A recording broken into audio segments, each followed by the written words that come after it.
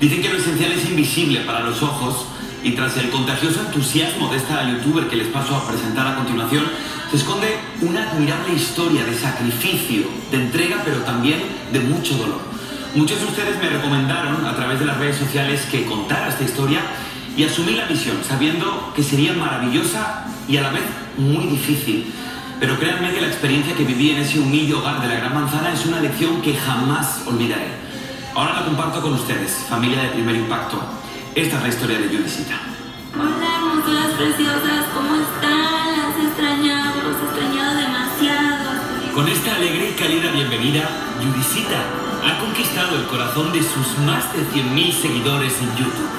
Con mucho valor y sin perder la sonrisa, cuenta cómo es la vida de una mujer soltera con siete hijos menores que vive en el famoso barrio del Bronx, en Nueva York siempre he sido fuerte, las personas me, me, dicen que admiran eso porque a pesar de todo, pues yo los, los he sacado adelante.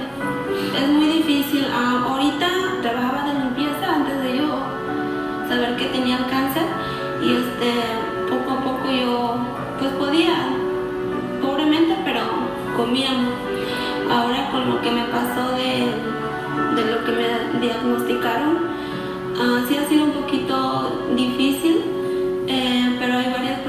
que me han apoyado y luego eh, pues YouTube se volvió como un trabajo para mí y ahí pues me cae un poquito de dinero y ya con eso. Y es que esta madre de 34 años, originaria de Acapulco, México, enfrentó un duro golpe cuando recibió un diagnóstico demoledor.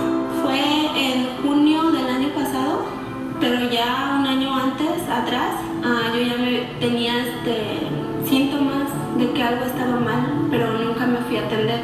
¿Por qué? Porque como yo estoy sola en este país, no tengo familia, no tengo, no tenía un familiar cercano, así que se me hacía difícil porque yo trabajaba y se me hacía difícil que me cuidaran mis nenes. Este, ya cuando fui era demasiado tarde. Judy libra una dura batalla contra un cáncer de seno en fase 4, pero no puede ser operada hasta que la quimioterapia reduzca sus tumores. Además, los tentáculos de la temible enfermedad ya alcanzaron sus huesos y su hígado. Y en medio de la tragedia que afronta, encontró en su canal de YouTube un bálsamo, no solo para sobrellevar su enfermedad, sino también los avatares de una mujer inmigrante que no tiene más compañía que el calor de sus siete hijos. ¿Cuándo comienzas a entender lo que es YouTube y a querer participar? En el 2015 yo como le digo era una mujer que me sentía muy sola y yo miraba otros youtubers, yo miraba sus videos y eso como que me animaba. Y yo digo voy a hacer esos videos para poderme sentir acompañada. Y ya cuando este, empecé a hacer mi primer video me empezaron a animar más. Y este una mujer alegre, contenta, cocinando, bailando. Era, e, esa Yuricita ahorita ya no es la misma. Esa Yudicita como que se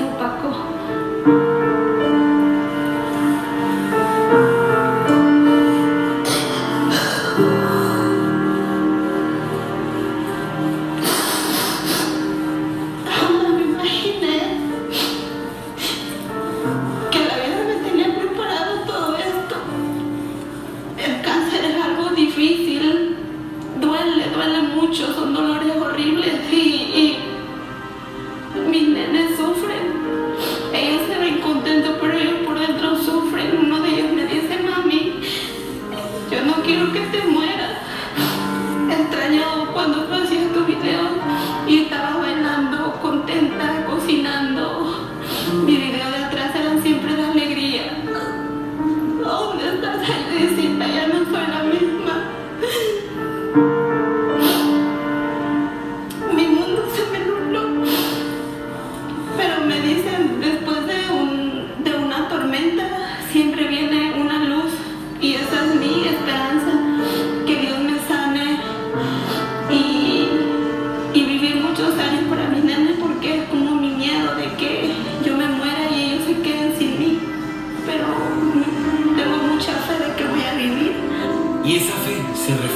Desde que conoció el diagnóstico, ha compartido día tras día el proceso de esta dura enfermedad.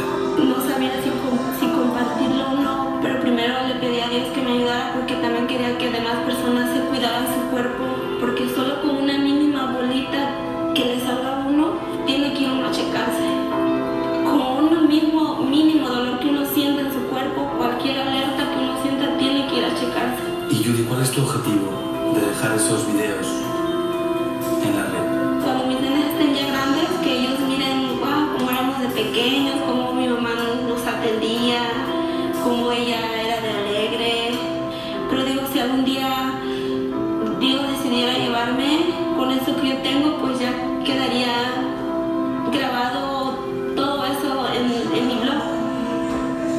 Y ellos lo mirarían más adelante, me, me recordarían y también ayudaría a varias personas diciéndoles de cómo se tienen que cuidar. ¿Qué le pedirías a alguien que te estuviera viendo y que pudiera ayudarte? ¿Qué le dirías?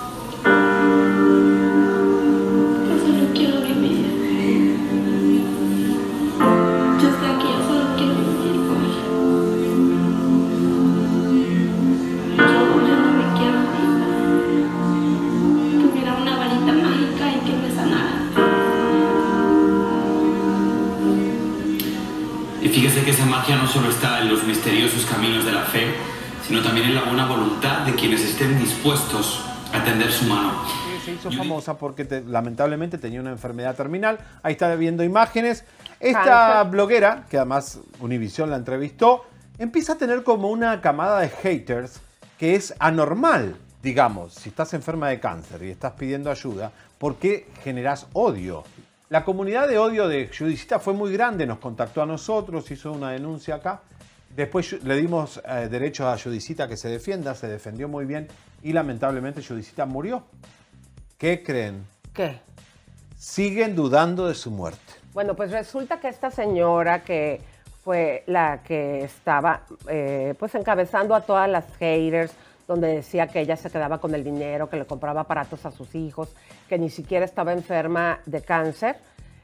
¿Qué fue lo que te escribió mi querido? Bueno, primero vamos a ver la noticia. Bueno, esto es lo que me escribió.